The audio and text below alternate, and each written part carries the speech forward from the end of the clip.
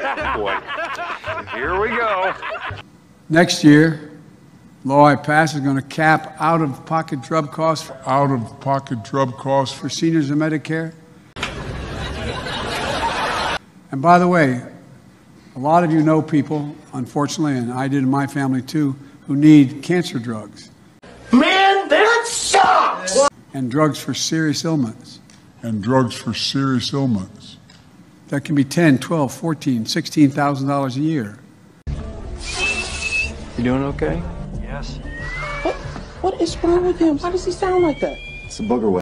Well, next year, next year, the law we already passed, it didn't, doesn't kick in until next year, next January.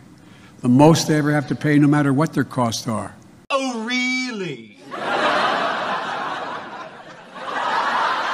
It's $3,500 a year for drug costs. And by the way, the following year, the law requires to be capped at $2,000. You know I don't speak Spanish. In English, please. So even expensive cancer drugs that literally cost up to $13, $14, $15,000 a year. This feels borderline inappropriate. It's a historic investment in bringing the semiconductor industry back to America.